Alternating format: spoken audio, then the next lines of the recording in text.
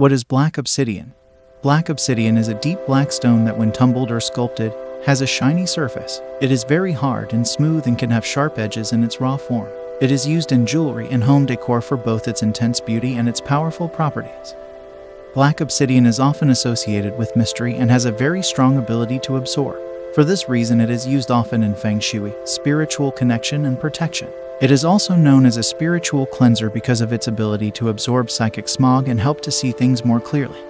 Having come directly from a volcano, black obsidian contains the elements of earth, water, and fire. This combination means that it also carries immense power. This stone is very good for cutting ties and ridding yourself of negative connections. If you're struggling to leave a toxic work environment or a relationship that is no longer serving you, you can seek help from Black Obsidian Stone with its healing property.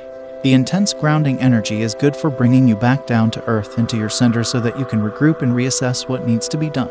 Its strong magnetic power means that it also holds lots of health benefits. It is said to draw out infection and help with digestive issues. Black obsidian crystals are said to be some of the luckiest of them all. They turn bad luck into good and are particularly useful when it comes to financial gains. Wearing a black obsidian bracelet is said to be one way to attract wealth and good fortune.